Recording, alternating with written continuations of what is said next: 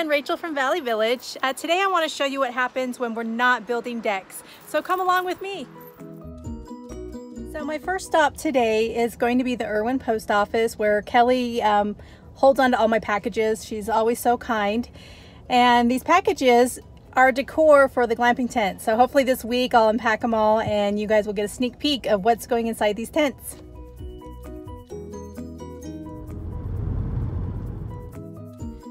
Everyone. I am at Tuesday morning.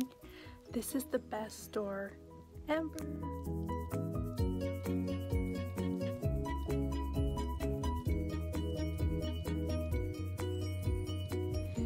So I am at the dollar store and you guys, there's like so much good stuff here. So just getting a few items that we needed for the kitchens.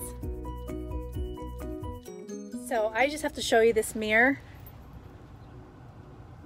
It was 60% off at Tuesday morning.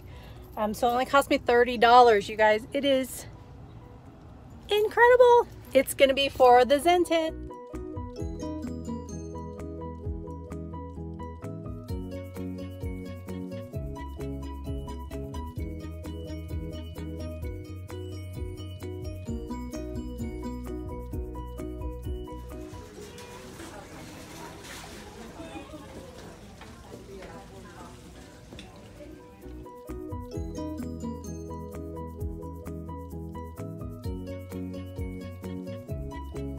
I'm at my favorite place, Lowe's.